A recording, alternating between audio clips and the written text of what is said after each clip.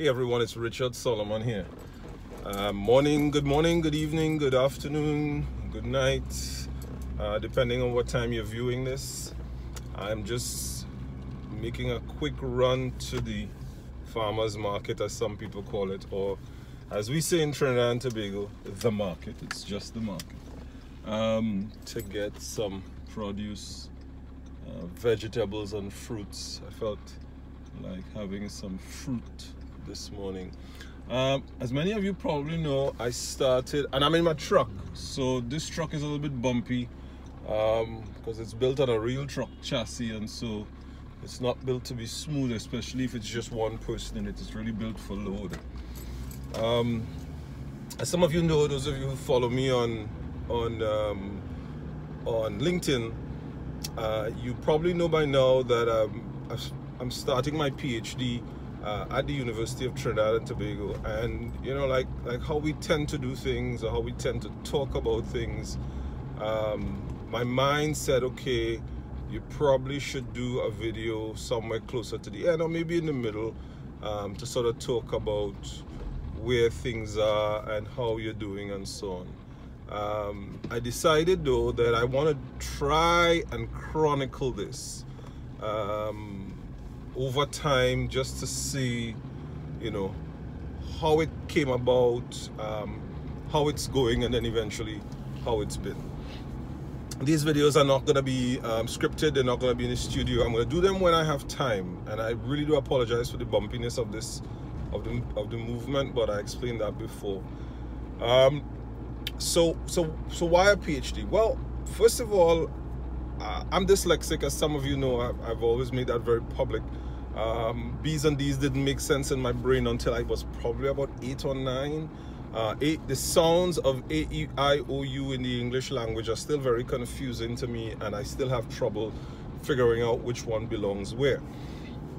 Um, notwithstanding that, though, uh, I think most people have some kind of disability, and that just happens to be one of mine. Um, but my mother has always said uh, to me as a child that things those things shouldn't stand in your way what you should do is just focus put your head down keep working and things will reveal their, their secrets to you um, and i found that to be to be a truth or a reality in in my own journey um, but but closer to PhD, I never thought as a younger person of of getting this far as far as education was concerned. Uh, it wasn't a dream. Um, no one in my immediate family uh, when I was much younger had gone uh, to this extent. Uh, my, my parents, neither of them uh, went to high school. My mother didn't finish primary school. Um, my parents were very intelligent, both of them. My mother had a photographic memory. Uh, my father sat on several boards, uh, but they just didn't take this route. And and my eldest brother eventually went on to, be, to get a doctorate, and that was much, much later in life. Um, but as a child, I didn't have a picture of that kind of possibility, and therefore it wasn't something that I, I thought of doing. Um, never really saw myself in that way. But I found that in life, if you just put one foot in front of the other and you're pointed in the right direction, you can get really far ahead, uh, really, really far down the road. And I guess that's what happened to me, one foot in front the other. Uh, when I was finishing my second MBA, I thought, why not? Why not do a doctorate? Why not go further? Because um, something that many people don't know, I actually like school. I actually like the experience of learning. Uh, I actually like the environment. And so I look, I have always looked forward to going to school um, from, from a pretty early age. Um, I've struggled at school for a long time when I was much younger. Once I figured it out, it, it, it, was not a struggle anymore. You just need to be disciplined and do the work. But I like learning and I like school. So uh, when I was uh, doing my second MBA, I thought, hmm, why not? Let me explore this. Of course, by that time, there were a lot more opportunities in terms of types of doctorates. Um, of course, there's the, the, the good old PhD, um, but of course, there's there, there are DBAs, Doctor of Business Administration, um, Doctor of Engineering. There are all kinds of doctorates. Uh, and I thought about it and I started to look. However, uh, I put some really hard requirements um, for a program that would suit my needs. One, I did not want to spend months and months and years doing coursework. I was not impressed or interested in sitting and listening to uh, what somebody has already discovered. One, I've done two master's degrees. Two, Google already knows everything. So I don't need content. I wasn't interested in that. Secondly, I wasn't interested in a program that would have me write exams. I don't think they prove very much in this field. Um, and so I didn't see the point.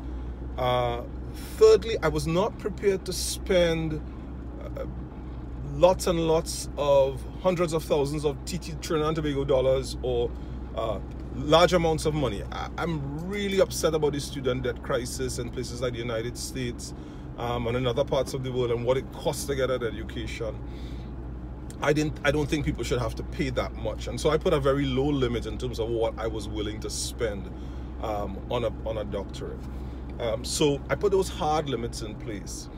Um, in addition to that, uh, the question is, well, why? Why would you want to get a PhD? I mean, there's no promotion. Lots of people want to do um, higher ed and tertiary ed for, for promotions and to make more money. I've been in my own business for over two decades. Um, I think I've done fairly well. Uh, and so uh, promotions and money and positions and those kinds of things uh, were not very interesting to me. But what is and continues to be interesting is to figure out things. Um, and a series of events caused me to uh, recognize or realize a, a, possible connection between work ethic and personality types. Actually, it started off with competitiveness of nations and personality types. Um, and so I'm, I, am my, my research is going to be in that area. That's what I was interested in researching. Um, because PhD work requires you to, you know, do new research, to discover new knowledge, come up with something different, something new, add to the body of work. So, um, so that was the why. Um, I literally searched around the world. The hard requirements that I mentioned before uh, are not easy to, to, to find in one place. Uh, I pretty much, as a result, ruled out, if not all, but most universities in the United States. Um, of course, oh, I should use my next hand. Sorry about that. I was just moving a, a message. Um, oh, I'll edit that out. Of course, um, there were some options in other countries. Uh, I, but I, the model that I, I was interested in, I found in South Africa actually got accepted by a couple universities in South Africa uh, due to a number of, of, of, challenges, including the shortage of, of PhD supervisors in South Africa and some differences in their the way they match qualifications to other parts of the world. Um, that those options didn't work out for me. But interestingly, one morning I was searching. It may have been night. I don't know. I was searching the internet for um, different PhD programs, and I discovered that the University of Trinidad and Tobago had a, a, PhD program and they didn't name it. They didn't say it was a PhD in engineering or business or anything in particular. It was just a PhD. Uh, so I called and um, eventually was able to put in um, an application and got accepted into that program. Why choose the University of Trinidad and Tobago? Well, one, it fit my criteria, um, the aforementioned or the aforelisted criteria, one. Uh, two, the University of Trinidad and Tobago, of course, is in Trinidad and Tobago, um, so it doesn't require travel. I have quite a bit of travel as things stand, and so um, that'd be great not to have to travel for that for school. Uh, thirdly, why the University of Trinidad and Tobago? I mean, the price point can't be beat. Uh, you can check this online if you want to. Uh, the program, at least for TNT Nationals, literally cost 24,000 Trinidad and Tobago dollars. And to my US friends, that's just north of, uh, or just south of 4,000 US dollars. This is for the entire program. That's your tuition. Um, registration is is is uh, pretty low. Uh, I think I paid, or I'm supposed to pay, uh, 440 Trinidad and Tobago dollars, which is about what uh, maybe about 70 US dollars for registration. I think that's per year or per semester. And they run a two semester program per year. Um, it's per, per semester. Uh, and the program can be completed in three years. Fully accredited, of course, that was a requirement, fully accredited. So uh, I took a long time. Um, I actually started my search program that fit my requirements in 2015. Um, the year I finished my second master's program. And uh, this is 2019. I'm actually starting out in 2019. The journey has been interesting because one of the things that was required for some of the programs that I applied to was I had to develop a complete proposal. I remember for one university, University of Stellenbosch in South Africa, uh, my proposal, including all citations and everything, I think was 70 something pages. Um, so you have to you have to do real research and write um, and come up with your methodology and so on uh, before you actually put forward an application. That was part of the application package. Um, so uh, I've, I've improved my research and writing skills. Um, of course, 70 something pages is nothing in comparison to what the final, uh, the final piece of research is going to be. And I'm just letting some people go past on the street here. Um, so I'm looking forward to see what, what that is going to be like. But uh, one of the questions someone has asked me is that why are you starting a PhD at this age? Well, I'm going to address the, I've already addressed the why, but I want to address the age issue. I don't see age as having anything to do with this. Uh, I think age is really irrelevant to the discussion.